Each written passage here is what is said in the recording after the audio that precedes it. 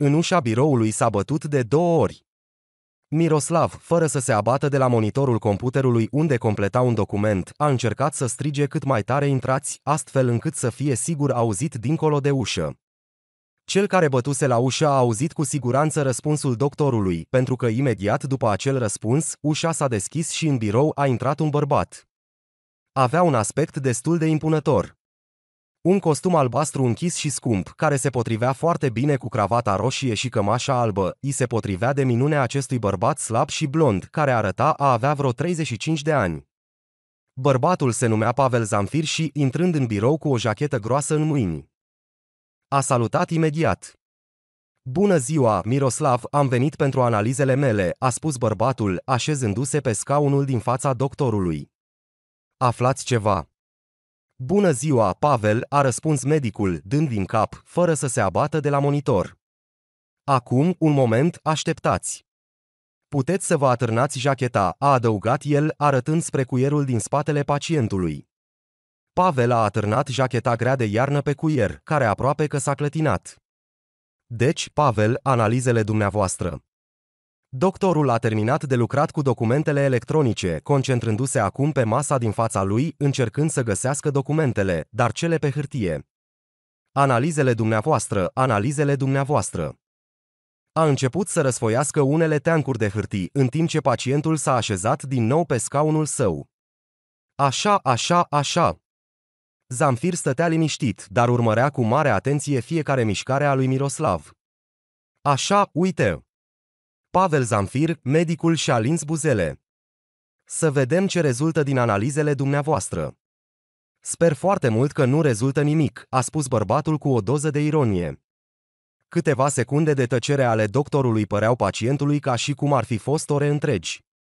Deci, pe expirație, a spus Miroslav, Pavel, acum vă voi spune diagnosticul dumneavoastră. Doctorul părea foarte ocupat, încercând să citească cât mai repede numeroși termeni medicali din document pentru a-i combina într-un singur rezultat. A citit repede hârtia, făcându-le pe Zamfir să fie și mai îngrijorat în așteptarea tremurândă. Deci, Pavel, v-ați adresat nouă cu plângeri de durere în ficat, corect. Ei bine, probabil că este ficatul, a răspuns bărbatul, punându-și palma stângă pe partea dreaptă a trunchiului. Undeva aici, sub coaste. Și ce alte simptome aveați? De ce v-ați mai plâns? Pavel a început să-și amintească simptomele care l-au determinat să se adreseze acestei clinici prestigioase și scumpe. Ei bine, greață, vărsături, a început el să enumere. În general, și-a pierdut apetitul. Aha, Miroslav a pus foaia undeva. Privind rezultatele analizelor dumneavoastră. Am o impresie foarte ambiguă. Spuneți-mi, ați observat în ultima vreme că ați slăbit foarte mult. Știți, da, am observat, a spus bărbatul încordat. Și ce? Medicul s-a aplecat puțin în față și, încrucișându-și mâinile, a spus cu un anumit regret neclar. Pavel, el a încercat să găsească cuvintele potrivite. Am examinat analizele dumneavoastră. Acum mi-ați enumerat simptomele cu care v-ați adresat nouă. A eitat un pic, făcând o pauză de o secundă. Știți, uneori chiar și cele mai exacte aparate și programe pot greși și în cazul dumneavoastră sper foarte mult că greșesc. Miroslav, nu trageți de timp. Pacientul l-a întrerupt cu un ton serios. Ce am în analize? Care este diagnosticul? Pavel, sunt obligat să vă informez că aveți cancer. Cancer la ficat. Analizele nu arată că este foarte rău, dar există motive de îngrijorare, desigur. Zamfir a încetat să-l mai audă pe medic după ce a auzit diagnosticul său. Lumea s-a răsturnat complet. Și-a pierdut toate culorile și a devenit sumbru și cenușiu. Toate acestea s-au întâmplat într-o secundă, într-o clipă. Bărbatul pur și simplu a înghețat, privind într-un singur punct și practic nu se mișca. Toată energia care era în organism se repezea în cap și imediat se descompunea. Literalmente, în câteva secunde, bărbatul și-a pierdut toate forțele de a face ceva. Și acum se gândea doar la un lucru. De ce? De ce tocmai el, sau mai exact el, a fost lovit de acest flagel? El, omul care se îngrijea foarte mult de sănătatea lui.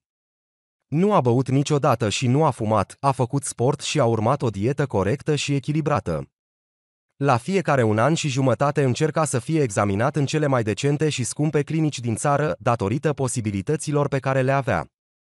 Pavel urmărea întotdeauna să fie atent la toate detaliile minore, până la ultimul fir de praf din apartamentul său sau umiditatea scăzută a aerului.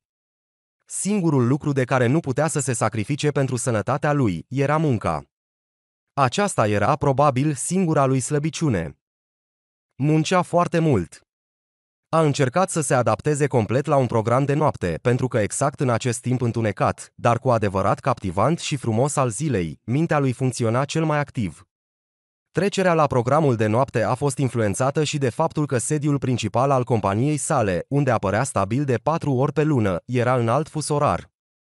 Pavel a reușit să-și organizeze afacerea astfel încât să funcționeze singură, fără prezența sa constantă și, profitând de acest lucru, și-a realizat visul de mult timp, de a se muta în Siberia. Această regiune l-a fascinat întotdeauna și adesea visa să se mute în acest loc înzăpezit. Și s-a întâmplat că atunci când în orașul unde se afla compania lui era zi, el avea deja seară târzie. Astfel era mult mai ușor să gestioneze afacerea și, după cum s-a menționat deja, noaptea lui Pavel îi se părea mult mai ușor și mai confortabil să lucreze. Spunem, Miroslav, am vreo șansă. A întrebat el, ridicându-și capul și privind spre doctor cu o privire sticlosă și goală, în care se vedea doar disperare completă. Doctorul a luat din nou foaia pe care erau rezultatele analizelor pacientului și, privind cu atenție undeva în partea de jos, a răspuns. Da, sunt. Tratamentul poate fi foarte costisitor și de lungă durată, dar te poți vindeca. În cazul tău, principalul lucru este să nu întârzi. Și de ce s-a dezvoltat cancerul? A murmurat Pavel, fără să acorde atenție lui Miroslav. Știi, Pavel, pot fi multe motive. Abuzul de alcool, ereditatea. Abuzul de alcool. În acel moment Pavel l-a privit foarte sever pe Miroslav. Abuzul de alcool. A întrebat el separat. Ei bine, știi, acest motiv este considerat unul dintre principalele. Ești în mintea ta, Miroslav, a început să strige bărbatul. Nu a putut să-și țină emoțiile. Toate gândurile care s-au acumulat în capul lui în ultimul minut, acest pahar extrem de plin acum nu a rezistat și a explodat. N-am băut niciodată în viața mea, mi-am urmărit întotdeauna sănătatea.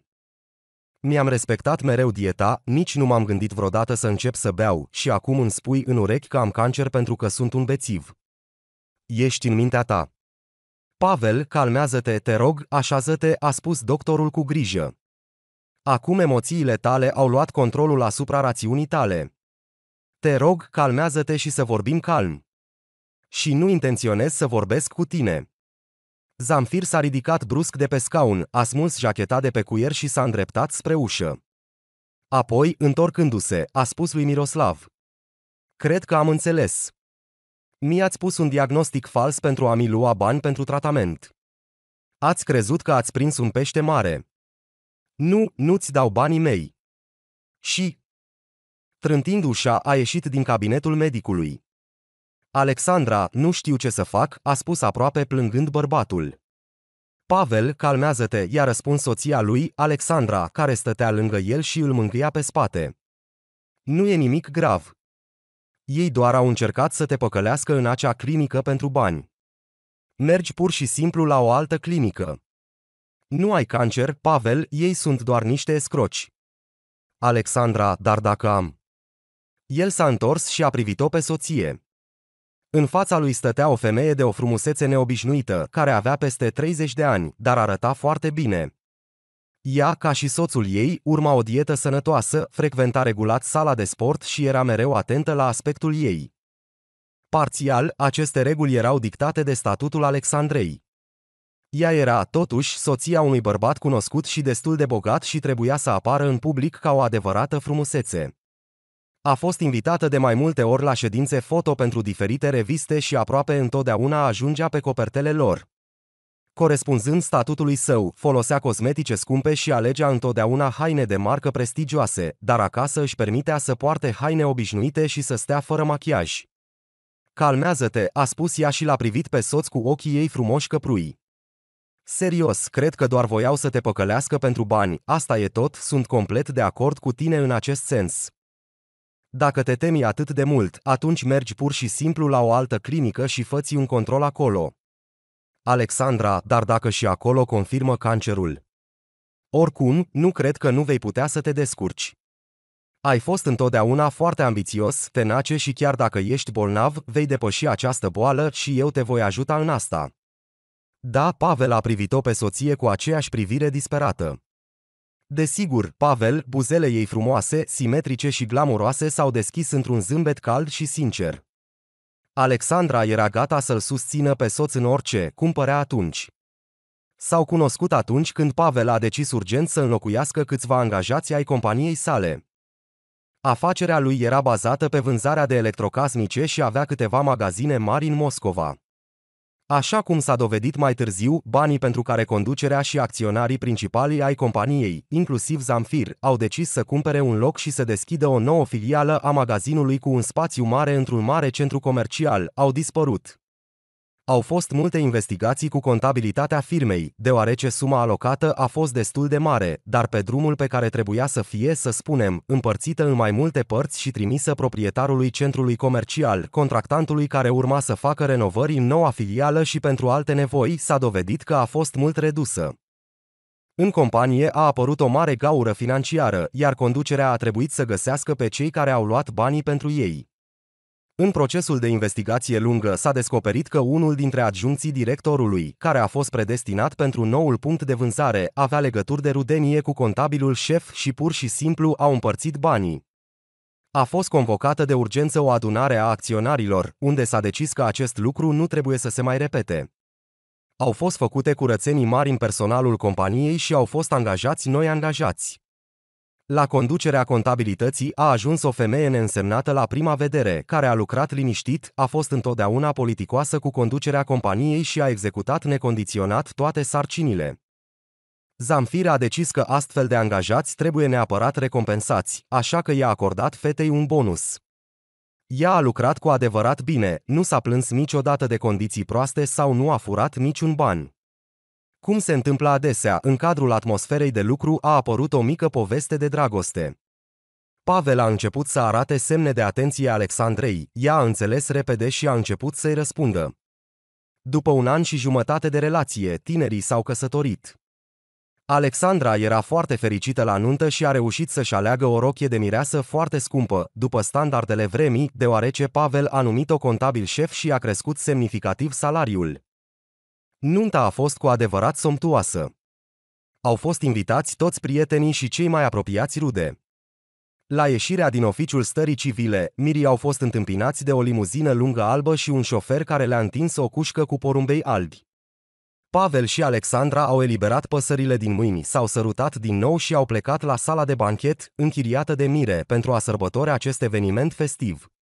Bine, vreau să fiu singur, Soțul și-a întors privirea de la soție și a privit undeva spre podea. Cred că mă duc la birou.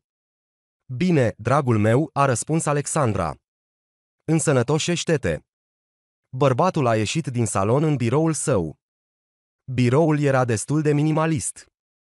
Dar exact așa cum îl vedea Zamfir la amenajare. Era o cameră relativ mică cu ferestre panoramice care dădeau spre orașul acoperit de zăpadă. Pavel stătea cu spatele la fereastră și biroul la care lucra de obicei se afla exact în fața ușii camerei. Zamfir nu îi plăcea deloc când cineva stătea sau se plimba în spatele său în timpul muncii.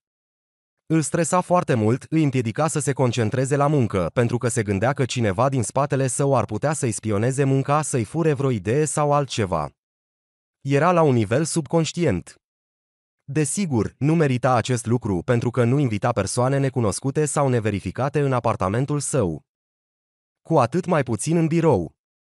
Dar chiar și în adâncul sufletului său, fricile de concurență încă răsunau cu un zvon puternic. Pavel a ajuns exact la această concluzie. Se străduia să-și ascundă munca cât mai mult până la finalizarea completă, astfel încât nimeni să nu poată spiona sau fura. Pe biroul monocrom gri nu se afla nimic, în afară de un laptop și un organizator pe jumătate gol. Pe laturile stânga și dreapta locului de muncă se aflau câteva rafturi puține, care, la fel ca și organizatorul de pe birou, erau umplute doar pe jumătate cu cărți aleatorii. Noaptea în birou, Pavel aprindea iluminarea, care era controlată de un telecomandă, a cărei loc era chiar în organizator. Însă și iluminarea era de culoare portocaliu gălbui și foarte moale, ceea ce îi permitea bărbatului să se relaxeze și să se concentreze maxim la muncă. Așezat într-un scaun ergonomic confortabil de culoare gri închis, Pavel s-a reclinat pe spătar și a început să privească tavanul. Nu avea absolut nicio dorință. De obicei, dacă nu lua micul dejun dimineața, după câteva ore era foarte foame, dar ziua de astăzi a fost o excepție. Nu a mâncat dimineața și acum părea că nu va mai vrea niciodată. Lumea și-a pierdut complet culorile și a devenit sumbră. Rezistența la stres pe care o dezvoltase de-a lungul anilor. L-a ajutat să nu plângă și să nu strige la tot apartamentul în situații și momente dificile ale vieții. Dar în acest caz, când și-a dat seama că în orice secundă ar putea avea metastaze în tot corpul, chiar și această rezistență la stres dezvoltată cu greu a putut face față. Într-o clipă a fost ca și cum ar fi încetat să mai vrea să trăiască. Apatia, oboseala la care până atunci închisese ochii și o pierdere de sens a vieții, necunoscută până atunci, au pus stăpânire pe mintea lui Pavel. Anterior încercase să nu lase astfel de sentimente să persiste în mintea sa, dar acum nu mai avea niciun alt sentiment. A stat așa timp de aproximativ o oră. După care a început treptat să realizeze că trebuie să se adune. Inacțiunea și analiza constantă a situației actuale cu siguranță nu ar fi dus la nimic bun. A trecut o săptămână. În tot acest timp, Pavel și soția s-au căutat pe internet o clinică cu evaluări și recenzii bune pentru a evita să dea peste escroci. Da, ei credeau cu adevărat că Miroslav era doar un escroc care voia să profite de un client bogat, punându-i un diagnostic fals. Familia încerca să găsească cât mai repede o clinică potrivită. Au căutat, desigur, clinici private și scumpe pentru a nu întâlni din nou această escrocherie. În cele din urmă, Pavel a găsit una. Dar clinica nu se afla în oraș, ci în altă parte a țării și trebuia să zboare cu avionul. Spitalul privat, care oferea servicii de diagnosticare a bolilor oncologice, se potrivea după evaluări și recenzii, dar doar examinarea costa destul de mult pentru bugetul familiei. Poate să căutăm altceva. A întrebat Alexandra când soțul i-a arătat oferta aleasă pe internet. Aici e prea scump, nu crezi. Și e departe. Cred că ar fi mai bine să găsim ceva mai aproape. Alexandra. El s-a uitat la ea cu un aer ușor nemulțumit.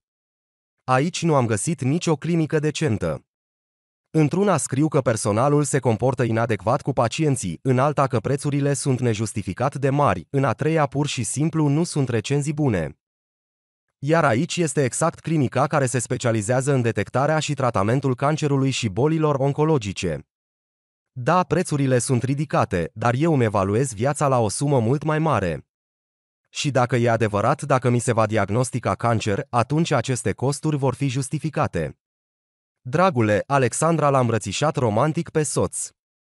Dacă crezi că e corect, atunci du-te și cheltuie sume enorme pentru sănătatea ta, eu nu te opresc și nu te descurajez. Dacă ți se pare că e corect, cu plăcere l-a sărutat pe obraz, doar să nu afecteze stilul nostru de viață, înțelegi. În ce sens?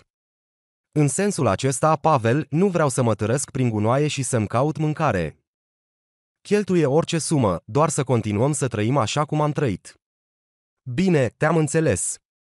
Bărbatul s-a desprins din îmbrățișarea soției. Totuși, voi suna la această clinică, mă voi consulta.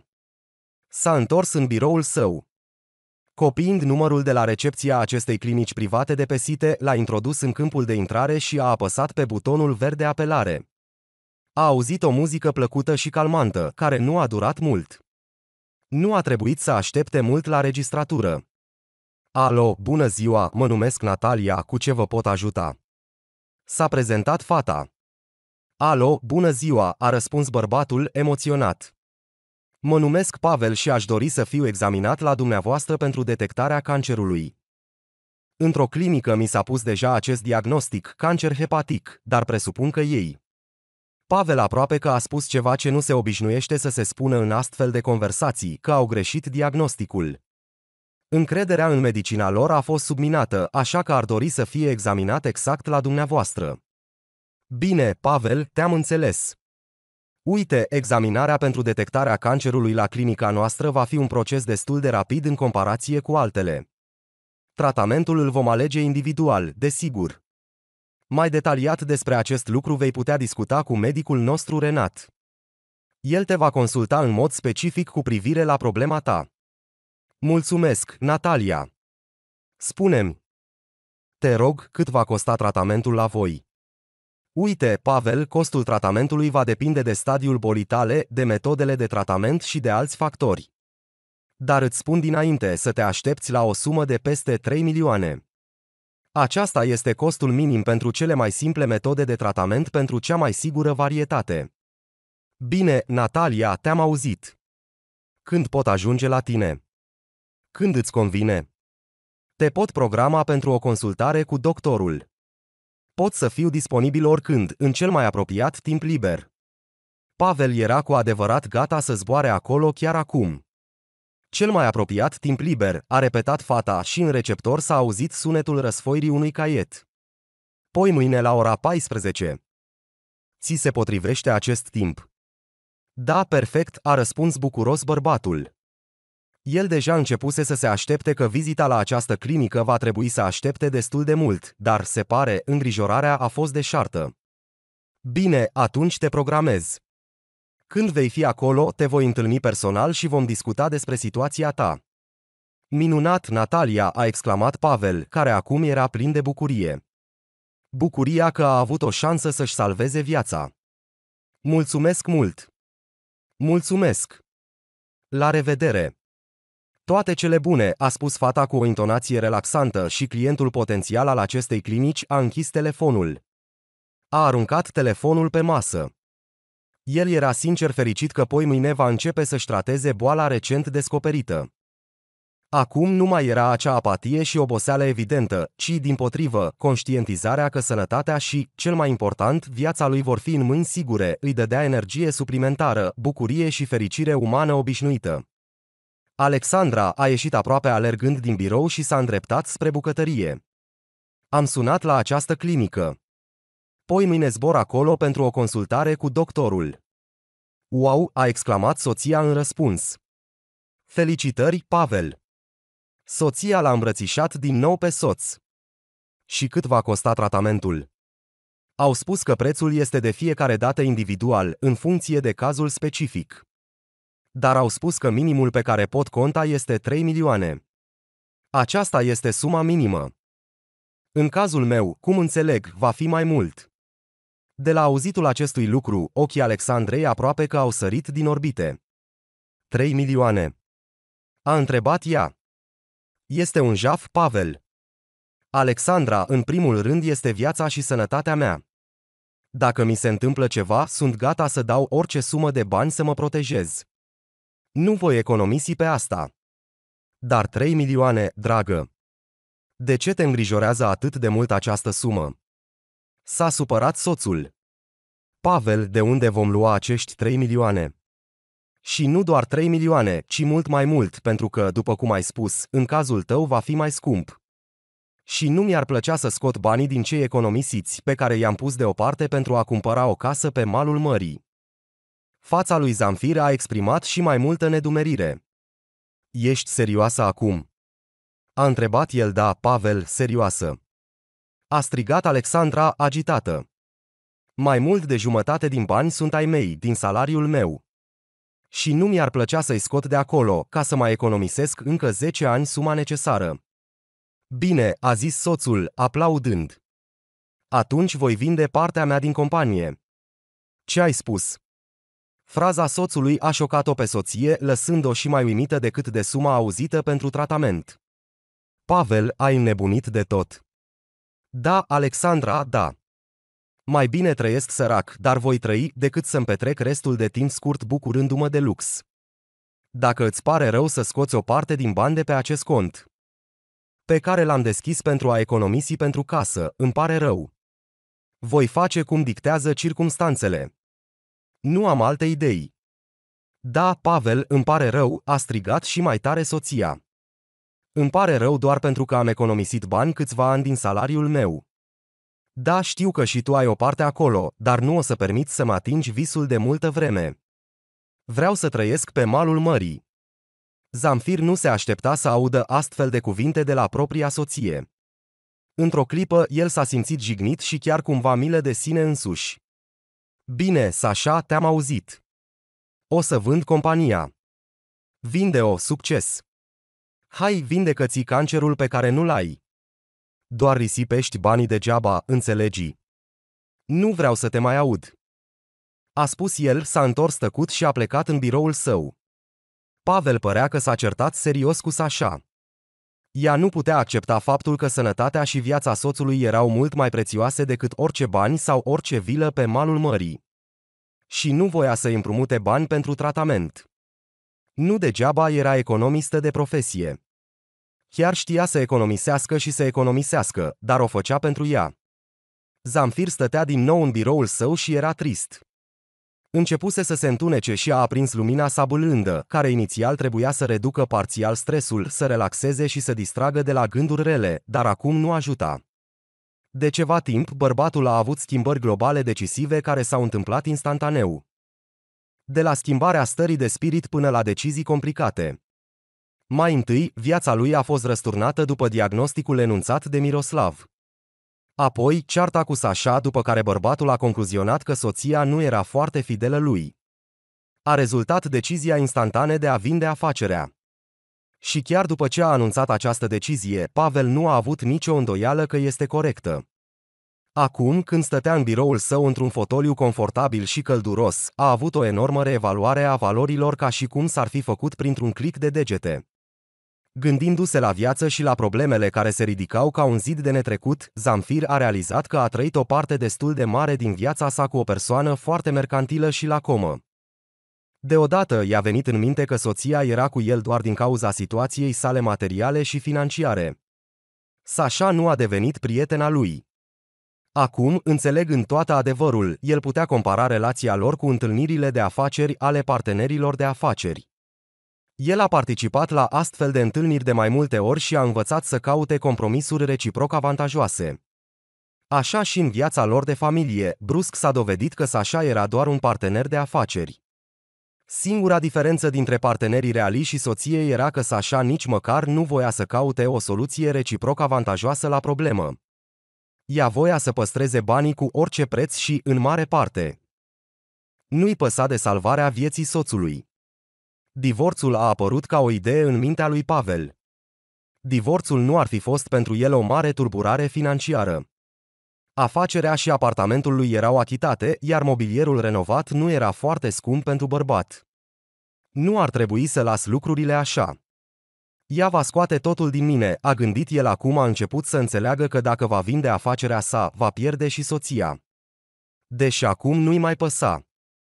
Principala sa preocupare era tratamentul cancerului hepatic. Ziua următoare a trecut în tensiune. Pavel nu voia să comunice cu soția în niciun fel. Ea i-a devenit instantaneu antipatică la un asemenea grad încât a fost nevoit să doarmă noaptea pe canapea în sufragerie. Alexandra, de asemenea, dacă se poate spune așa, a fost dezamăgită de soț, deși el a fost mai dezamăgit de ea. Tot acest timp ea a crezut sincer că soțul este gata să sacrifice totul pentru bunăstarea ei și în cele din urmă a ajuns la o extremă atât de mare încât ea nu mai vedea nicio limită și credea că el îi datorează ceva.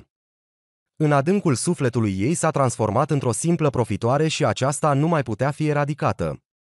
Ea doar ascunde asta și destul de abil și profesionist, astfel încât această trăsătură subtilă și vicleană din caracterul ei să poată fi observată doar în momentul critic cu o zi înainte de data programată pentru vizita la clinică. Pavel a început să-și strângă lucrurile seara. Avea un zbor la ora 10 seara, iar până dimineața trebuia să ajungă la destinație. Așa cum plănuise, pleca acolo pentru câteva zile și trebuia să strângă suficiente lucruri. A luat cu el o anumită sumă de bani cash pe care intenționa să o cheltuie pentru o eventuală consultație plătită. Din cauza bucuriei că găsise o clinică bună, uitase complet să verifice acest lucru. Cheltuielile pentru transport și mâncare, precum și cazarea la hotel, pe care de asemenea și-o alesese deja. Punând în valiză câteva perechi de blugi albaștri obișnuiți, două hanorace, trei tricouri și câteva perechi de lenjerie intimă. Pavel era gata să părăsească apartamentul. În acele zile, ei aproape că nu au comunicat. Soția sa pregătea mâncarea în tăcere, spăla hainele și se ocupa de treburile ei, în timp ce Pavel, sperând că se va putea concentra pe muncă, citea rapoartele companiei sale. El și-a informat conducerea și partenerii că se va retrage pentru o perioadă necunoscută chiar și lui, dar că se va întoarce cu siguranță. Pavel regreta profund că i-a spus Alexandrei despre intenția sa de a-și vinde partea din companie pentru a plăti tratamentul și reabilitarea. Totuși, acesta a fost un gest destul de nepremeditat. Ajungând la ușă, el s-a întins după jachetă pe cuier. Când soția sa a apărut în pragul ușii din sufragerie. Pleci l-a întrebat ea încrucișându-și afacerist brațele la piept. Da, a răspuns scurt Pavel. Ce, cumva ai început să-ți faci griji pentru mine? Nu plănuiesc să-mi strâng lucrurile și să mă mut de la tine. Nu mai pot suporta caracterul tău. Până acum l-ai suportat pentru câțiva ani, dar când a venit vorba de bani, brusc am devenit detestabil. Ei bine, da, e adevărat. Mâine îmi strâng lucrurile și plec de la tine.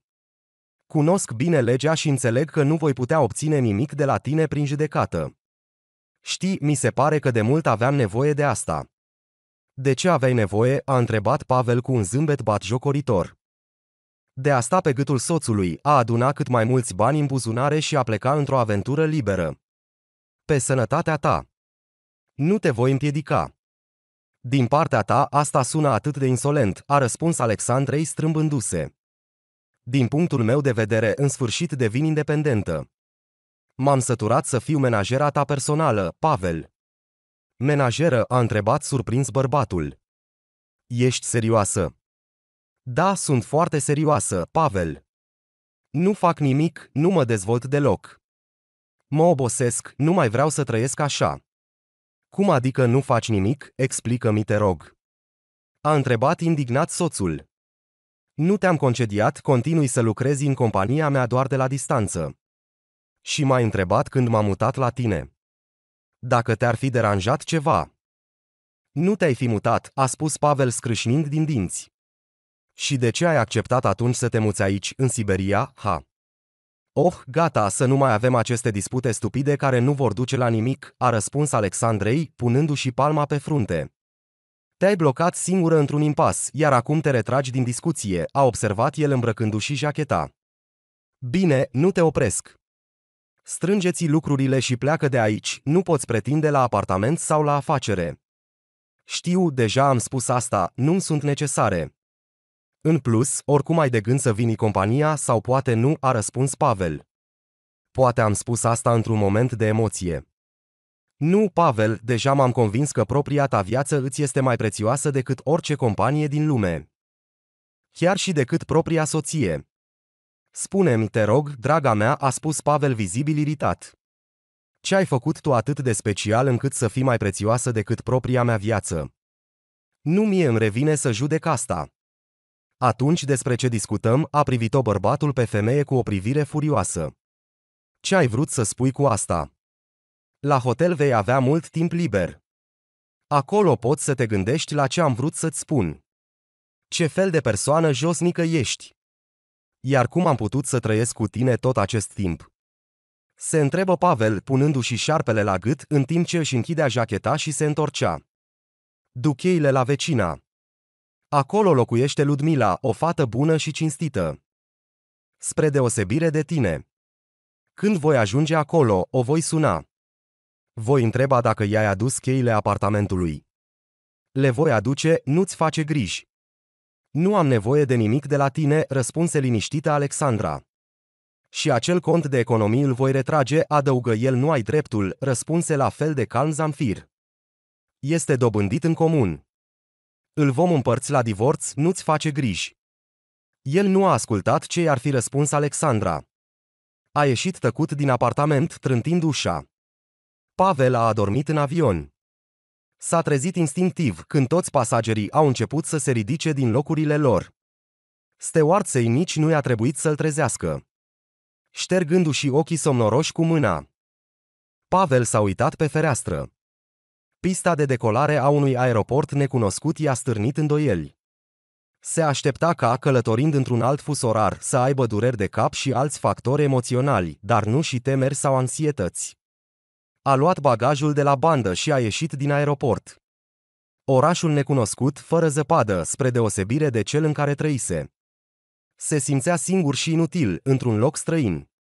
Doar gândul că va fi aici pentru puțin timp îl liniștea. Doar câteva zile. Se simțise la fel de inutil când se mutase în Moscova.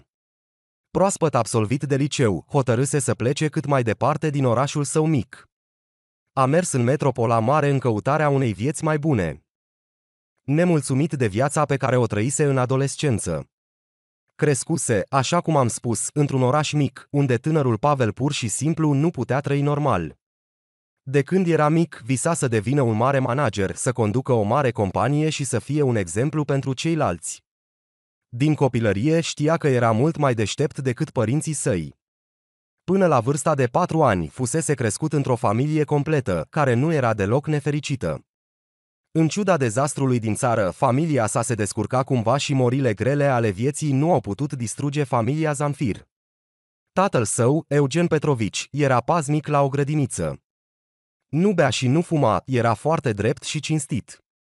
Mama sa, Nina, era șefa bucătăriei la spitalul local. Era gata să facă orice compromis pentru o viață normală a familiei sale, să-și folosească poziția pentru ca fiul ei să nu ducă lipsă de nimic. În timp ce alți copii din cartier se jucau cu jucării vechi sovietice, plictisitoare și decolorate, micul Pavel se bucura de jucării moderne, străine. La fel, în timp ce alți copii purtau haine vechi, așa cum le numea Nina, Pavel se îmbrăca destul de bine. Când băiețelul a împlinit patru ani, tatăl său, Eugen, și-a pierdut mama, bunica lui Pavel. Eugen a început să bea. Această pierdere neașteptată l-a devastat. A început să bea, au apărut conflicte în familie și... În cele din urmă, după doi ani, a dispărut fără urmă. Nina, care își ascunsese resentimentele față de soțul său, al cărui alcoolism l-a suportat timp de doi ani, nici măcar nu a încercat să-l caute. Desigur, autoritățile au făcut-o, dar nu l-au găsit. Nina părea să nu-i pese de soțul ei alcoolic. Pavel, deși era încă foarte mic, înțelegea totul foarte bine. În ciuda situației financiare dificile a familiei sale, el niciodată nu s-a lăudat cu asta și nu s-a lăudat în fața nimănui. El a înțeles că este la fel de copil ca toți ceilalți. El le-a permis prietenilor săi din curte să se joace cu jucăriile sale moderne fără probleme, mereu i-a ajutat și în general nu s-a arătat superior față de ceilalți. Când Pavel a devenit adolescent, a început să înțeleagă că nu are viitor în acest oraș. Orașul era mic, fără perspective și nu avea cum să prospere aici. La un moment dat, i-a dezvăluit mamei sale planurile sale viitoare, dar ea a reacționat foarte aspru. Ea avea cu totul alte planuri pentru fiul ei și părea că nu avea de gând să țină cont de părerea lui. Acum învață să fii electrician, iar după ce termin școala profesională, vei deveni economist, i-a răspuns ea atunci. Ce ai de-a face cu Moscova? Ce afaceri? Atunci a început să crească treptat resentimentul față de mama sa. Chiar dacă era neplăcut pentru Nina să recunoască asta, fiul ei era mult mai inteligent și mai prevăzător decât ea însă și. De la tatăl său a moștenit onestitatea și dreptatea, iar de la mama sa calități cu totul opuse. Și retenie și mândrie, dar într-o măsură adecvată. Și aceste calități complet diferite în esență s-au potrivit minunat în acest tânăr. După absolvirea școlii profesionale, el a cumpărat un bilet pentru Moscova cu economiile pe care le strânsese din bursă și a plecat fără să anunțe pe nimeni. A lăsat doar o scrisoare de rămas bun mamei sale, în care a scris, Mamă, vreau să mă adresez ultima oară. Înțeleg perfect că tu, cu personalitatea ta, nu accepti punctul meu de vedere. Nu vreau să te ofensez, dar spun doar faptele. Ești prea egoistă prin natura ta. Sau ar fi mai corect să spun egocentrică. Dar acum am 19 ani. Din cauza problemelor de sănătate pe care le cunoști foarte bine, nu pot să urmez calea pe care o dorești pentru mine. Cred că nivelul meu nu se potrivește deloc cu locul pe care vrei să-l ocup în viața mea. Acum sunt nevoit să plec. Nu accept niciun fel de observații sau avertismente în acest sens, cum le numești tu. Voi trăi așa cum cred că trebuie, pentru că, după părerea mea, merit ceva mai bun. Cred că în căutarea fericirii tale ai uitat cu totul că sunt fiul tău, nu o marionetă. Sunt o altă persoană. Și eu, ca toți oamenii normali, intenționez să mă străduiesc să devin mai bun. Poate că ai fi devenit un lider minunat, dar eu nu sunt subalternul tău. Am crescut deja și părăsesc cu independență acest cuib parental. Plec în Moscova. Am un plan de acțiune, dar știu că nu ai de gând să mă asculți. Așa că te las în fața faptului împlinit. Sunt sigur că în capitală mă așteaptă o viață mai bună. Iartă-mă pentru asta, mamă, dar cred că această independență sau egoismul l-am moștenit de la tine. Dar în cazul meu, cred că acest egoism este rezonabil. Sper că ne vom revedea într-o zi. Mă vei vedea la televizor sau vei citi un articol despre mine în ziar și cu siguranță mă voi întoarce, mamă. Ne vedem. Pavel a plecat în timpul zilei. Iar Nina s-a întors de la serviciu abia seara. Citind scrisoarea, a fost pe punctul de a face un atac de cort. Deși într-adevăr încercase să-l controleze strâns pe fiul său din frică că acesta ar putea deveni un criminal, în acele vremuri aceste temeri erau întemeiate. Dar nu putea înțelege nici măcar faptul că fiul ei înțelesese acest lucru. El nu avea intenția să devină un infractor sau un dependent de droguri, nu. El știa ce valoare are. A petrecut aproape întreaga sa copilărie citind cărți și văzând documentare pentru a înțelege cum funcționează diverse structuri. Pavel a studiat cu mare atenție istoria și s-a pasionat de psihologie pentru a înțelege mentalitatea oamenilor cu care avea să colaboreze în viitor.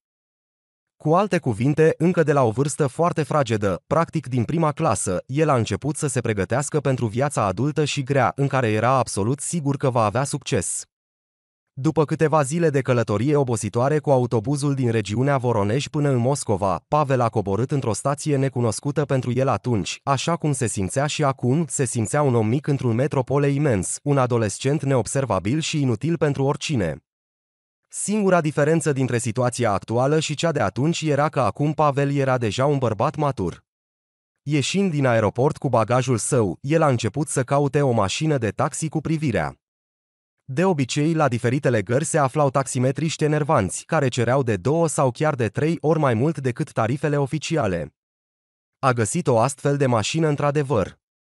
Era o mașină străină de culoare gri, iar Pavel nu se pricepea prea bine la mărci de mașini, cu un indicator portocaliu discret pe acoperișul cabinei. Lângă mașină se afla un bărbat de origine caucaziană, purtând o șapcă cu opt pânze și având miustăți negre dese și o barbă subțire. Pavel s-a îndreptat imediat spre el salut. I-a spus el taximetristului georgian, pe nume Ion. Salut! Dragul meu! A răspuns georgianul cu un accent foarte pronunțat și a întins mâinile.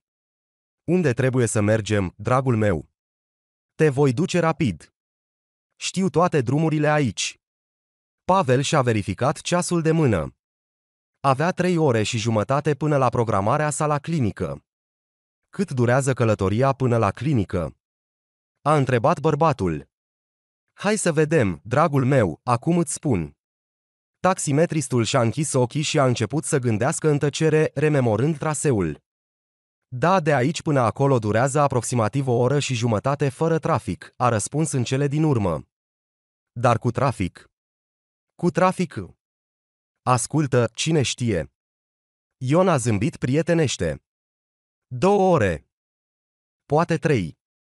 Depinde de trafic, știi. Dar prețul? A întrebat Pavel cu un zâmbet ironic. Ascultă, prețul îl vom discuta. Hai, sări în mașină și hai să mergem. Taximetristul credul nu știa încă cu cine avea de-a face. El credea că poate să-l înșele ușor pe pasager în ceea ce privește prețul, dar Pavel avea altă părere. Nu, nu mă vei informa despre prețuri. Până nu-mi spui suma, nu merg. 30. A răspuns Ion brusc.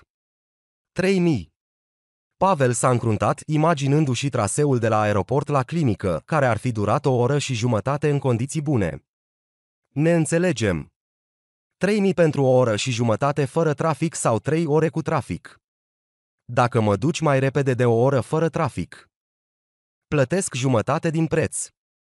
Înțelegem. Uite ce perseverent ești. Ascultă cum te cheamă, prietene. Ion a făcut un pas în față spre Pavel și a pus o mână pe umăr. Pavel, mă cheamă, a răspuns acesta sigur pe el, eu sunt Ion. Ascultă, ce tupeu! Hai, am înțeles. Să plecăm. Ion a deschis portbagajul, Pavel și-a pus bagajul acolo, iar ei au plecat către adresa indicată. Au ajuns la clinică aproape exact după o oră și jumătate. Chiar și cu toată încercarea de a înșela clientul naiv, așa cum părea la început, Ion nu a mințit, iar Pavel a plătit 3000 de lei. După ce s-a despărțit de șofer, Pavel a luat bagajul de mână și a intrat în clinică. Așteptarea lui a durat două ore și jumătate. În recepție era aceeași tânără cu care vorbise la telefon cu doar două zile în urmă. Bună, sunt programat la Renat Zamfir și a uitat numele medicului căruia intenționa să se adreseze. La Renat Filipescu, a întrebat Natalia pentru a clarifica. Da, la el am sunat zilele trecute, sunt Pavel. Da, văd. Pavel, programarea este la ora ora 14. Vă rog să-mi spuneți numele complet. Pavel Zamfir, a spus bărbatul. Bine, mulțumesc. Puteți să vă așezați pe bancă pentru moment. În ce cabinet trebuie să merg? a întrebat Zamfir. Oh, scuzați-mă, Natalia a râs ușor. Am uitat cu desăvârșire. Cabinetul dumneavoastră este al optulea. Mulțumesc foarte mult, a răspuns Pavel și a mers pe coridor în căutarea cabinetului 8. Găsind ușa potrivită, a pus geanta lângă bancă și și-a dat jos jacheta. S-a așezat pe banca albă și a început să aștepte momentul potrivit. În coridor nu era nimeni, dar pe banca vecină se afla o geacă. A trecut aproximativ o oră și o femeie în vârstă, dar bine îmbrăcată, a ieșit din cabinetul lui Filipescu. Ea și-a luat repede haina de pe banchetă, iar după ea a apărut un bărbat în vârstă de 60 de ani, chel și cu mustață, în halat alb strâns. Bună! Pavel, ești tu. L-a întrebat politicos bărbatul lui Zamfir. Bună, da, sunt eu. Bine, intră. El l-a chemat cu un gest în cabinet. Pavel a privit ceasul. Timp de toată viața sa a încercat să fie disciplinat la muncă, chiar dacă nu reușea întotdeauna. Ceasul arăta ora 12 și 34 de minute. Dar înainte să poată să spună intră, intră, Filipescu l-a întrerupt pe Pavel și acesta a ascultat. Cabinetul arăta foarte medical, cu pereți de un gri deschis și tot decorul, inclusiv mobilierul, era în aceeași paletă de culori. Povestește-mi, Pavel, l-a întrebat Renat, ascultându-le atent pe pacientul său. Am făcut deja niște analize în altă clinică, a început Pavel. Nu sunt din localitate, vin din Siberia și mi s-a spus că am cancer la ficat. Mă deranjau dureri în partea laterală, în zona ficatului, pierdere de apetit. Greață și am slăbit în general. Vă deranjează ceva din acestea, ca și cum ați fi deja pe calea tratării? A întrebat Renat. Nu aș spune asta, a răspuns Pavel cu gândul. Am dureri de cap, dar cred că nu au legătură cu asta. Poate că au, a spus medicul cu încredere. Apetitul. Ai probleme cu apetitul? Da, posibil, a spus Zamfir la fel de nesigur. În ultima vreme am mâncat puțin. Ce stil de viață ai avut în general? A întrebat Renat. Ei bine, înainte de toate acestea, înainte de simptomele astea, încercam să duc un stil de viață sănătos. Făceam sport, mâncam sănătos, nu fumam și nu beam. Bine, a spus doctorul și s-a uitat la monitorul computerului său. Va trebui să faci niște investigații și să dai niște analize. Poți să le faci chiar acum, rezultatele le vom avea foarte rapid, în aproximativ o oră. Foarte bine, a fost sincer uimit Pavel. Spuneți-mi cât va costa asta. Darea de analize și analizarea lor va costa în total 30.000 de lei. Va trebui să donezi sânge. Bine, sunt de acord. Pavel a făcut în aceeași zi toate analizele necesare pe care i le-a prescris Renat. Imediat după consultație, au mers împreună la laborator, care era în aceeași clinică. Acolo i-au luat sânge din venă și, așa cum promisese specialistul, rezultatele au fost gata într-o oră. Dispunem de cele mai moderne echipamente pentru detectarea tulburărilor sistemului general al organismului și, în special pentru detectarea celulelor canceroase, a explicat el când Pavel s-a întors în cabinetul său. E bine, dar ce arată analizele mele? A întrebat pacientul, îngrijorat. Nu voi ascunde nimic de la tine, voi spune așa cum este, a spus Renat calm și sigur. Cancerul este confirmat la tine. Trebuie să menționez că se dezvoltă destul de rapid. Când ați dat analizele anterioare la o altă clinică? A întrebat medicul. Cu aproximativ o săptămână sau o săptămână și jumătate în urmă, a răspuns Pavel într-un mod confuz. Da, a confirmat medicul, boala se dezvoltă foarte rapid.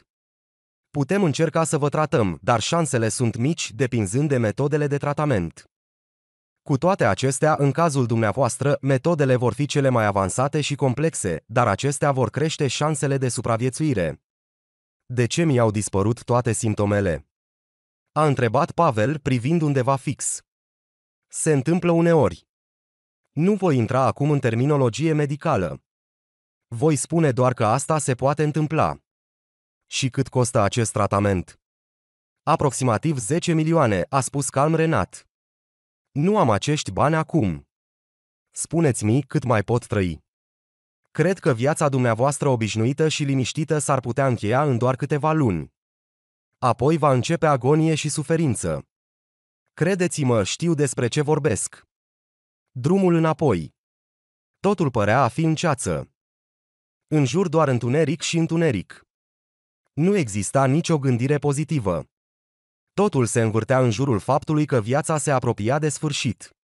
Conștientizarea acestui lucru era atât de tristă, melancolică și dureroasă. Pavel își dedica aproape tot timpul liber muncii. Și acum, când părea că viața se apropie de sfârșit, el se simțea ca un bătrân pe patul de moarte, privind înapoi și realizând că a făcut o greșeală imensă. El nu a avut șansa să vadă lumea, să facă tot ce și-a propus în tinerețe. Părea că totul mergea pe un alt traseu. Pentru un motiv necunoscut, el nu a luat în considerare boala mortală. El nu a ales să rămână în acea misiune nesănătoasă. Ci a decis să se întoarcă acasă cât mai repede posibil. El intenționa să vândă părțile sale din companie. Dacă ar fi făcut asta, ar fi putut acoperi cu ușurință costurile tratamentului.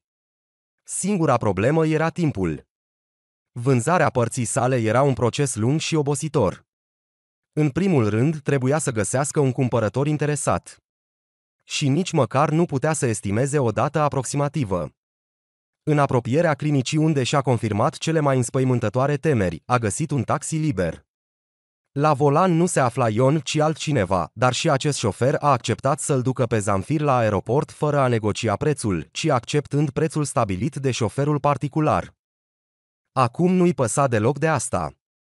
El spera sincer că la aeroport vor fi bilete disponibile pentru un zbor înapoi în Siberia, chiar și cu escală. Avea nevoie să ajungă acasă cu disperare. Gândurile îngrijorătoare se adunau pe drum, crescând într-o progresie geometrică. Privind afară la orașul în noapte, în care, spre deosebire de locul său natal, nu era zăpadă, Pavel se gândea că în curând el însuși se va transforma în întuneric. Din nou, într-un singur moment, el și-a redus viața la nimic. Tot ce a realizat în acești scurți 35 de ani nu-i mai păsa. Era doar compania și un apartament mare într-un complex rezidențial de elită. Atât. Soția sa s-a dovedit a fi egoistă care și-a sacrificat soțul bolnav în numele propriului său bine. Nu aveau copii, Alexandra nu a vrut niciodată să aibă copii, susținând că nu ar avea timp pentru ei.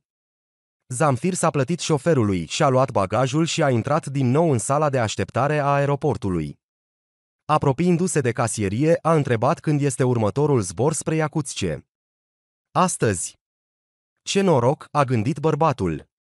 Un bilet, vă rog. S-a plătit la casă, a primit biletul și, uitându-se la tabloul de sosiri și plecări, a realizat că va trebui să aștepte destul de mult, două ore. El s-a așezat liniștit pe o bancă și a continuat să reflecteze cât de puțin influențează viața lui. Iubito, acum vom cumpăra biletele și vom zbura, a spus o femeie trecând pe lângă Pavel cu fiica sa, care părea să aibă în jur de șapte ani. Vom zbura direct. A întrebat fetița cu sinceră surpriză. Da, Iana, vom zbura, a răspuns Pavel. El și-a deschis ochii și a privit spre familia aceea. Ce norocoasă este această femeie! Ea are o fiică minunată, care, de altfel, semăna cu ea. Ea nu are nicio problemă. Totul merge bine pentru ea și a crește această fiică minunată. Și fetița a avut noroc. Ea are o mamă și deocamdată nu are probleme. O voce interioară dialoga cu mintea lui Pavel. Stai așa, ce? Mamă. Fetița are o mamă. Ea are o mamă. În acel moment, mintea bărbatului a început să vorbească cu vocea interioară. Mamă! Deci, așteaptă. Eu am o mamă, nu-i așa? El s-a ridicat rapid de pe bancă și, depășind tânăra familie, s-a apropiat de casierie. Scuzați-mă, anulați, vă rog, a început să strige el în grabă. Ce? Nu înțeleg, a spus inițial tânăra casieră. Ce anulați? Anulați biletul pentru mine, vă rog. Schimbați-le, am nevoie de un bilet către Voronej. Procedura de schimbare a biletului a fost rapidă și bărbatul inspirat și-a luat valiza și a fugit spre ușa de îmbarcare către Voronej. El a reușit. Și-a ocupat locul indicat pe bilet și a respirat ușurat. Mamă! Eu am o mamă, continua el să vorbească cu el însuși în mintea sa. O să-mi văd mama. În cât timp? Cât a trecut? Zece ani. Nu, mai mult. Spre 16. Ce coșmar! Nu am văzut-o de 16 ani. Ei bine, acum o să o văd. Avionul a decolat și a zburat către Voronej. Zborul a durat 5 ore. În acest timp, Pavel a reușit să doarmă în avion și, ciudat, să se odihnească.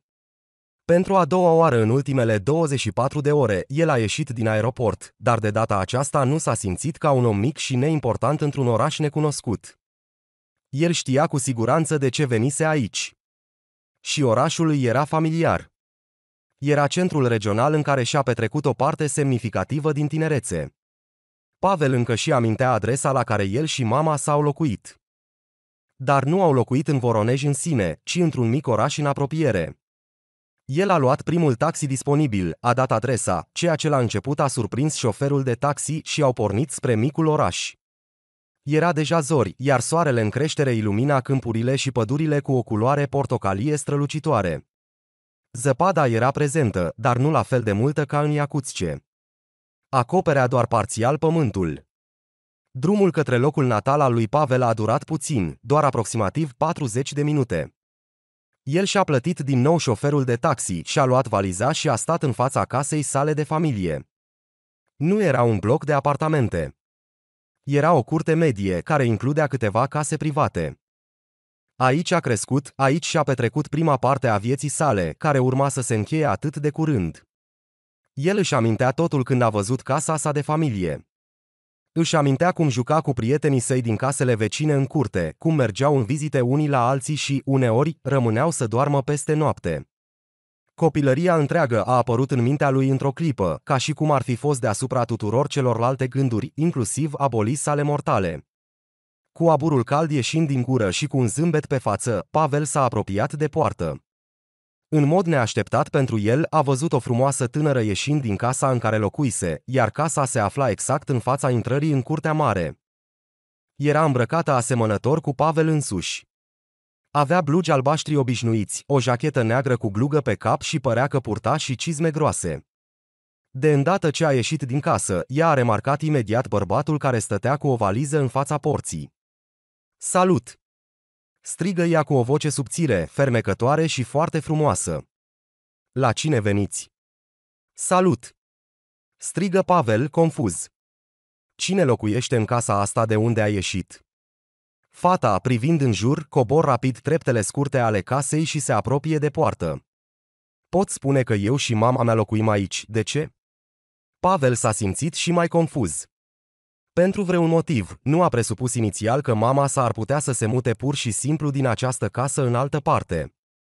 A încercat să se adune și a întrebat, aici a locuit oare cine pe nume Nina? Știți unde s-a mutat? Dar ea locuiește aici, de fapt, a răspuns fata cu mirare. Și cine sunteți dumneavoastră? Așteptați, nu înțeleg deloc, a întrerupt Pavel. Ați spus că locuiți aici cu mama dumneavoastră, nu-i așa? Ei bine, ea nu este chiar mama pentru mine, a spus fata învăluită în confuzie.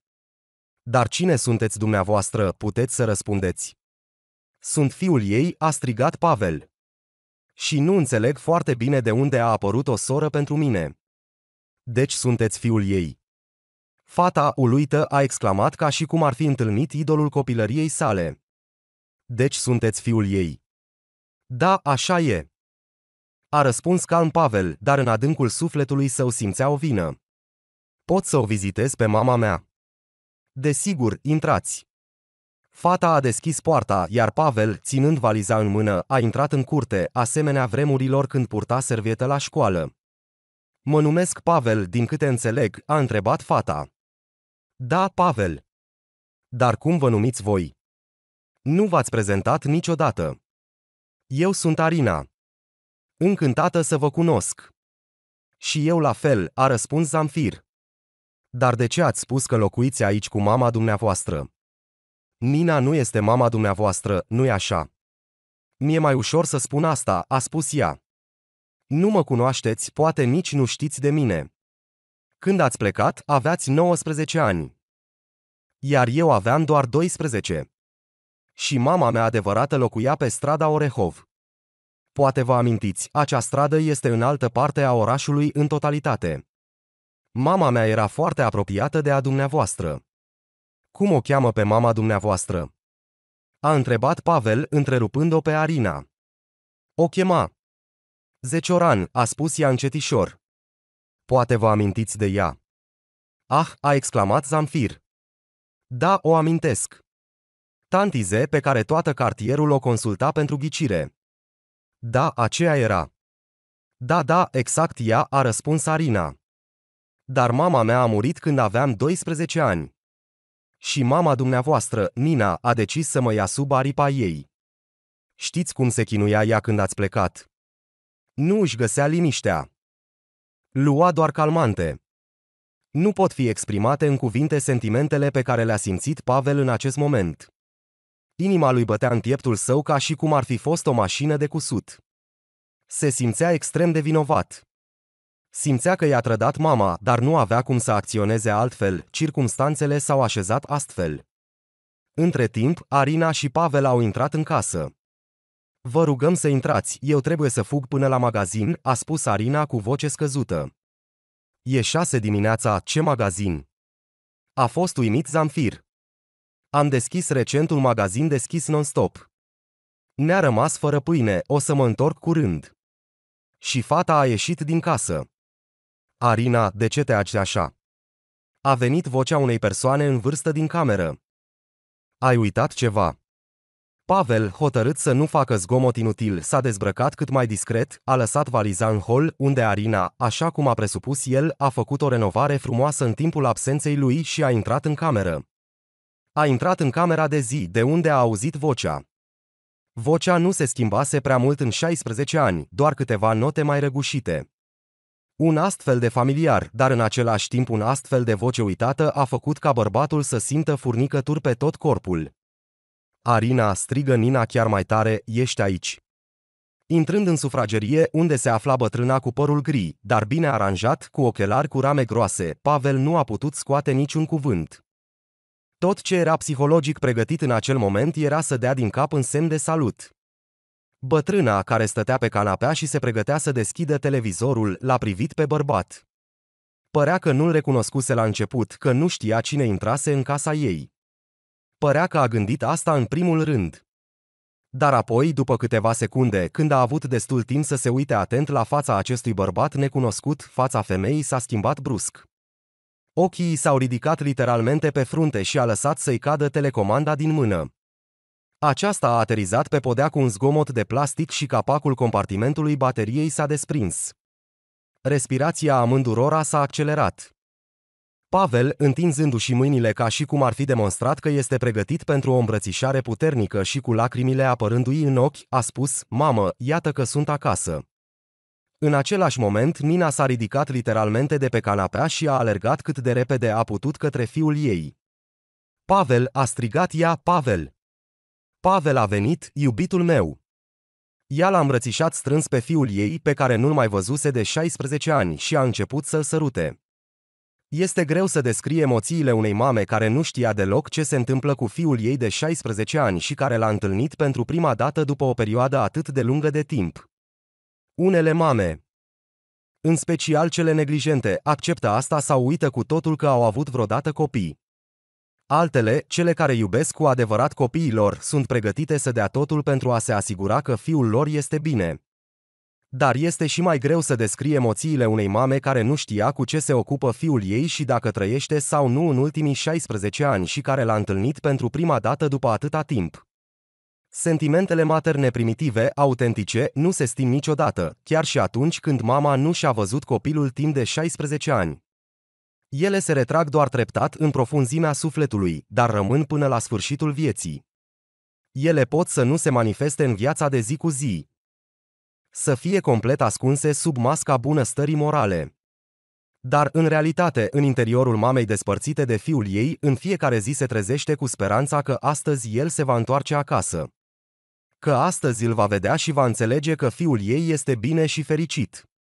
Așa a fost cu mama lui Pavel Zamfir, Nina. Ea nu l-a uitat niciodată pe fiul ei, se ruga în fiecare zi pentru sănătatea lui, chiar și înainte de plecarea lui. Era o atee convinsă și credea că în acest moment copilul ei trăiește și se simte bine undeva în lume. Arina, astăzi am sărbătoare, a strigat și a plâns Nina când a auzit zgomotul ușii de la intrare. Fugi la magazin din nou, cumpără un tort. O să sărbătorim. Pavel meu s-a întors, Pavel. Nina, știu că el a venit. Eu l-am întâmpinat, a răspuns tânăra cu un zâmbet pe față. Am realizat imediat că trebuie să cumpăr ceva în plus în afară de pâine. Au mers în bucătărie, unde Pavel era deja așezat și privea camera cu o expresie ciudată pe față. Parcă totul s-a schimbat, dar și nimic nu s-a schimbat, se gândea el, privind în jurul bucătăriei. Pavel, cum îți merge? Spune-mi, scumpule, nu te-am mai văzut de atâția ani. Bucuria Nina împărtășea cu adevărat energia ei pozitivă fiului său, care în adâncul sufletului simțea o rușine imensă, dar aceste sentimente se stingea de la sine sub presiunea stării de bine a mamei. Mamă, totul e în regulă, a răspuns calm Pavel, încă ezitând să înceapă cu lucrurile rele. Am propriul meu business în Moscova, care e destul de solid de fapt. O rețea mare de magazine și puncte de vânzare, iar eu locuiesc în Iacuțce, unde e mai ușor pentru mine. Pavel, mereu ai vrut să te duci în oraș, a făcut semn cu degetul indicativ Nina, adresându-se Arinei. În nord, mereu voiai să pleci undeva, asta sigur îmi amintesc. Da, voiam și am plecat, a confirmat Arina, tăind tortul. Da, băiatul meu, Pavel, este un băiat minunat. Bătrâna femeie nu se putea opri din a-și lăuda fiul. Deci, Pavel, eu sunt deja o femeie bătrână, spunem, mi-ai dat măcar nepoți. Cum îți merge în viața personală? Aici au început deja problemele. Fiul rătăcitor a răspuns cu o sursă de rușine, coborându-și privirea. Ce s-a întâmplat? Mă despart de soția mea acum. Te desparți. Nina a rămas uimită. Cum așa, Pavel, cum te desparți? Și cine e această femeie? Soția mea sau fostă soție se numește Alexandra. Am cunoscut-o în afaceri, am angajat-o ca contabil la mine. Știi, mamă, inițial a fost o fată bună, cinstită și credincioasă. Cel puțin la început. Apoi s-a mutat la mine în Iacuțce. Eu deja aveam un apartament propriu și acum o săptămână ea a arătat adevărata ei față. Era cu mine doar pentru bani. Nu avea niciun sentiment sincer pentru mine. Poate că nu e așa în realitate, dar totuși asta e imaginea pe care a dat-o și ce. Ce faci acum? Te desparți. A întrebat mama bătrână. Da. Când mă întorc acasă, voi depune actele de divorț. Fiu, ea poate să-și revendice jumătate din apartamentul tău și din companie. Nu, mamă, nu o să poată, a spus Pavel sigur. Am câștigat totul când eram singur. Atât apartamentul cât și compania. Totul va rămâne al meu. Arina a adus tortul la masă, iar în acel moment ceainicul era deja fierbinte. Au discutat multe în continuare. Au adus în discuție aproape toate aspectele vieții lui Pavel în acești 16 ani de despărțire. Au discutat despre aproape totul, cu excepția faptului că Pavel era bolnav de cancer. Dar au discutat și despre viața Ninei. Cum a suferit ea în primii ani când fiul ei a părăsit casa și nu a dat niciun semn de viață. Ea și-a împărtășit preocupările și a vărsat câteva lacrimi.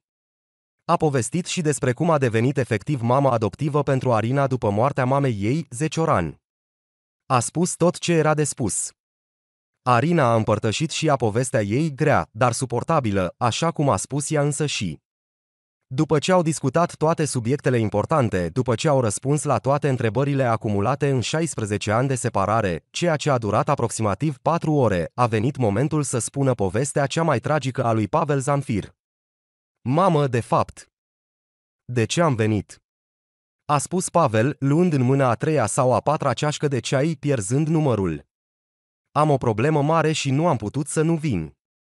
S-a gândit puțin înainte de a alege cuvintele, iar Arina și Nina au rămas nemișcate în așteptare. Ce s-a întâmplat?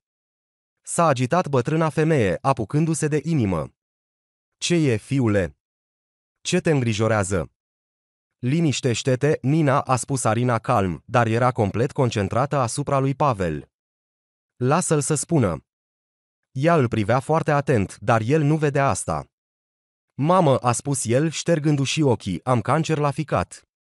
Nina și-a strâns mult mai tare inima acum. Ce? Ce ai spus, Pavel? Te rog, repetă. Cu fiecare cuvânt. Vorbirea ei devenea tot mai șoaptă, iar ea și-a scos ochelarii. Am cancer la ficat. Se dezvoltă foarte rapid. Practic, am venit să-mi iau rămas bun. Tratamentul costă 10 milioane de lei. Într-un timp scurt pot să obțin acești bani doar vânzând partea mea din companie, dar nu o să o vând atât de repede. Împrumutul nu-l voi lua în mod principial. În ultimele două zile am meditat la multe, am ajuns la multe concluzii și am reconsiderat multe lucruri. M-am împăcat deja cu soarta mea, mamă.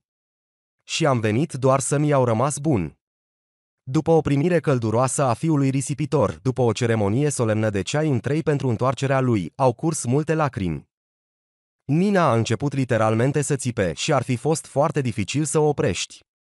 Pavel nu mai simțea nimic, anunțând o veste atât de teribilă, pentru că în cele două zile anterioare acestui moment, el a reconsiderat cu adevărat multe lucruri, ajungând în cele din urmă la concluzia că aceasta este soarta lui. Nina plângea fără sfârșit după cum părea fiului ei. Toate speranțele ei că fiul ei s-a întors, că copilul ei este în siguranță, s-au spulberat într-o clipă. Nu putea să creadă această veste, nu-și putea crede urechile. Pavel, pot să vorbesc cu tine o clipă?" a întrebat Arina, când Nina s-a liniștit într-o oarecare măsură și sta acolo în tăcere. Trebuie să discutăm." Pavel, fără a se aștepta la o astfel de ofertă, a acceptat cu mare interes să vorbească cu fata. Nu știa ce îi poate spune și asta îl stârnea cu adevărat. Dar și mai mult îl intrigă faptul că vrea să vorbească despre asta în particular cu el, fără Nina. Au ieșit afară.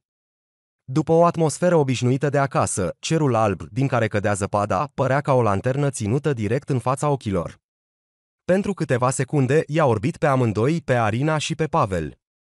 Pavel a început fata când a închis ușa după ea. Cum ți-aș putea explica asta?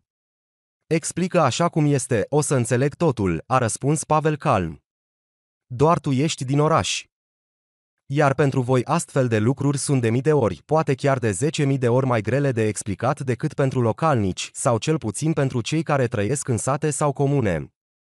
Ei bine, spune deja, a insistat Pavel. Mama mea era dicitoare, vrăjitoare, femeie înțeleaptă. În orice caz, cum vrei să o numești, a început Arina. Avea darul vindecării, înțelegi. Așa că întreaga comună venea la ea. În principal, erau alcoolici la care ficatul era afectat și ea îi vindeca cu darul ei. Și ce vrei să-mi spui cu asta? Se putea vedea pe fața lui Pavel că, așa cum spusese inițial Arina, a primit această informație cu scepticism. Darul vindecării se transmite pe linie ereditară. A încercat să-l convingă tânăra. Pot să încerc să te vindec. Te faci de râs cu mine?" a întrebat Pavel, făcând o față ciudată. M-am împăcat deja cu soarta mea. Și tu încă vrei să-mi spui că poți să mă vindeci de cancer. De cancer la ficat, care se dezvoltă foarte rapid. Pentru acest tratament, specialiștii cer 10 milioane și tu vrei să încerci cu ghicitori.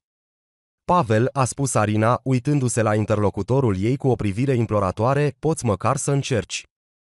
Nu va trebui să faci nimic, eu voi face aproape totul. Bine, aproape totul.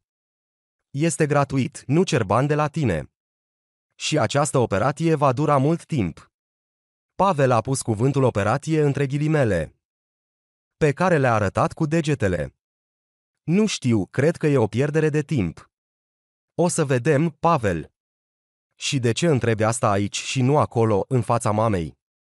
A întrebat bărbatul când Arina se pregătea să intre în casă. Pentru ca vraja să funcționeze, persoana care trebuie să fie vindecată trebuie să dea consimțământul personal în privat, fără urechi străine. Și abia după ce a consimțit în privat să se efectueze ritualul și să se rostească vraja, informația poate deveni publică, așa să zicem. Au intrat în casă, iar Arina a alergat imediat în camera ei, care acum, acum 16 ani, era camera lui Pavel. A găsit o carte în care erau înregistrate multe vrăji pe care străbunica ei, Antonina, le găsise acolo, inclusiv o vrajă împotriva cancerului. Vrajă, dacă pot să o exprim așa, era universală pentru toate stadiile și tipurile de afecțiuni canceroase. Ritualul a fost efectuat în aceeași noapte. Arina i-a comunicat Ninei că intenționează să-și vindece fiul de această boală groaznică. Nina nu a putut să doarmă. A stat în patul ei toată noaptea, așteptând ca Arina să iasă și să-i spună că totul s-a terminat cu succes. Arina a efectuat singură ritualul în camera ei. Erau multe nuanțe, iar uneori chiar și Pavel trebuia să citească vrăji neînțelese într-o limbă necunoscută pentru el pe tot parcursul acestei proceduri ciudate și necunoscute pentru el. El a stat acolo, fără să înțeleagă, și era destul de sceptic. După câteva ore, ușa camerei Arina s-a deschis, iar ea a intrat în camera Ninei să vadă dacă doarme. Ea nu dormea, așa că fata a putut să-i spună imediat că totul a mers bine și că ar trebui să aibă rezultate pozitive. După două zile, Pavel a zburat cu avionul la aceeași clinică care i-a cerut 10 milioane de lei pentru tratament. A decis să verifice dacă vraja a funcționat și, până în acest moment, a fost destul de sceptic în privința ei. Arina a insistat ca el să fie supus unui nou examen medical. El a plătit din nou acestei clinici private 30.000 de lei pentru rezultate rapide și precise. Când Renat le-a examinat, aproape că a sărit în tavan. Cum e posibil? A spus el, acoperindu-și gura cu mâna. Cu doar câteva zile în urmă aveați o tumoare cancerigenă în ficat, iar acum, iar acum a dispărut ca și cum s-ar fi evaporat. Nu putem avea echipament inexact, nu-i așa? Pavel însuși era atât de obișnuit cu aceste schimbări rapide și bruște în jurul său, încât nici măcar nu s-a mirat că niște cuvinte rostite într-o limbă necunoscută, citite înaintea lui de o vrăjitoare moștenitoare, au putut să elimine miraculos o boală aproape incurabilă din corpul său. Cu un cuvânt s-a întors la mama lui cu vești bune și cu această ocazie au băut ceai cu prăjitura cu mere. Nina era foarte bucuroasă că fiul ei s-a vindecat. A trecut un an. În această perioadă, Pavel a fost urmărit de schimbări rapide și bruște. A divorțat de soția lui, iar contul său de economii, pe care ea nu voia să-l cheltuiască pentru tratamentul lui, a fost împărțit în două. Apartamentul și afacerea au rămas, desigur, în străinătate. Pavel a început să comunice mult cu Arina, s-au scris și, în cele din urmă, au început o relație la distanță. Curând, fata s-a mutat la el, iar apoi, economisind puțin bani, bărbatul i-a cumpărat mamei sale un apartament în Iacuțce, în aceeași zonă în care Pavel și Arina locuiau. După ce au locuit împreună timp de jumătate de an. În armonia necunoscută anterior lui Pavel a iubirii, Arina a spus într-o dimineață la o ceașcă de ceai. Pavel, nu știu cum să-ți spun asta. Pe fața ei se vedea un zâmbet timid. Ce este asta? De ce ești atât de nervos? Pavel, iată situația, mama ta va fi în al nouălea cer de fericire. În general, ieri am cumpărat un test de sarcină și vom avea un copil. Pavel a rămas fără cuvinte. El a strâns-o strâns pe Arina și și-a închis ochii, care s-au umplut brusc de lacrimi. Iubita mea, nu doar sunt fericit, sunt extrem de fericit.